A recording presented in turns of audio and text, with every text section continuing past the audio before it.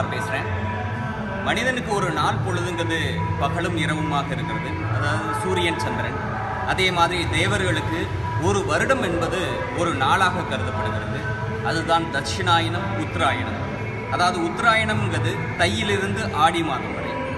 ஆடியிலிருந்து திருப்பி மார்கழி தை வரை தட்சிணாயனம் என்ற பொழுது சொல்லுது. உத்தராயணம் என்றால் சூரிய பொழுதாகவும் தட்சிணாயனம் என்றால் சந்திர பொழுதாகவும் கருதலாம்.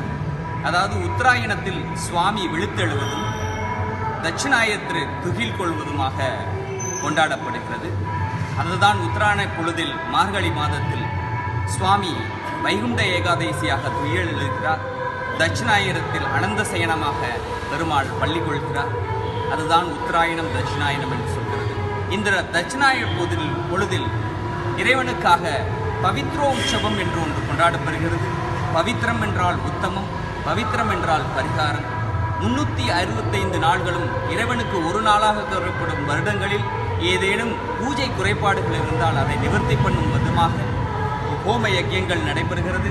அன்றைய தினங்களில் அன்றைய தினங்களில் அந்த இறைவனுக்கு பஞ்சபூதங்களாகிய பஞ்சபூதங்களின் நிறங்களாகிய கல நிறங்களுக்கு நூல்களை மாலையாக இறைவனுக்கு சாற்றி அந்த அந்த பவித்திர மாலைகளில் எண்ணற்ற தெய்வங்களை ஆவாகனம் பண்ணி பின் ஹோமங்களில் பின் ஹோமங்களில் சுவாகானம் நூல்களை மாலையாக இறைவனுக்கு சாற்றி அந்த அந்த பவித்திர மாலைகளில் எண்ணற்ற தெய்வங்களை ஆவாகனம் பண்ணி பின் ஹோமங்களில் பின் ஹோமங்களில் சுவாகானம் சுவாகானம் பண்ணி அதாவது ஆவாகனம் என்றால் இறைவனை அந்த பவித்திரத்தில் வரவழைப்பது சுவாகானம் என்றால் அந்த ஹோமத்தில் அந்த தெய்வங்களுக்குரிய மந்திரங்கள் பூஜைகளை செய்வது பின் அந்த பவித்திரத்துக்கு ஆவாகனம் செய்த இறைவன் செய்- ஆகாமனம் செய்யப்பட்ட அந்த பவித்திரங்களை இறைவனுக்கு சாற்றி பூஜைகள் ஏழு நாட்கள் நடக்கும்.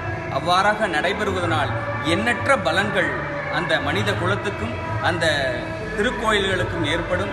அதனால் பவித்ர உற்சவங்களை கண்டுகளியுங்கள். இதை போல அற்புதமான இறை செய்திகளை உங்கள் குடும்பத்துக்கு உங்கள் குழந்தைகளுக்கு சொல்லுங்கள். நம் ஆன்மீகம் நம் கலாச்சாரம் வளர வேண்டும். ஒவ்வொரு ஆன்மீகமும் கண்டிப்பாக அறிவியல் பூர்வமானது என்பதை உணர்ந்து கொள்ள வேண்டும். உங்கள் கிருஷ்ணகுமார் திருநெல்வேலி